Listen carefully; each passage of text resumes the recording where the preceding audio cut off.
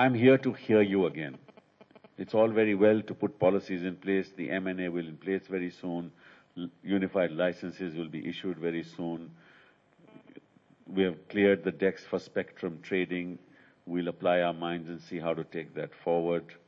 Um, the rollout obligations have now been defined.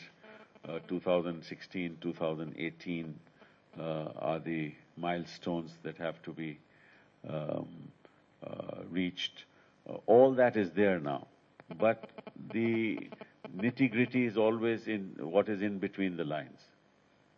Uh, I'm trying to resolve the penalty issues, which uh, I've been talking about for almost two years now. We're trying to resolve it, and I'm sure the Secretary will make sure that that happens very quickly. But in terms of implementation, what are your real issues?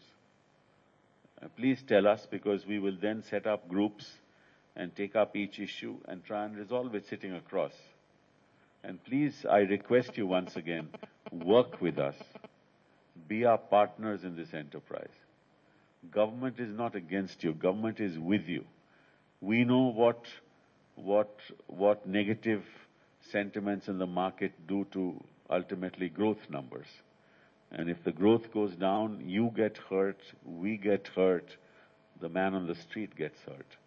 So it is our commitment that we must take growth forward and bring back the economy uh, to the levels that it was in when we had 8 to 9% growth.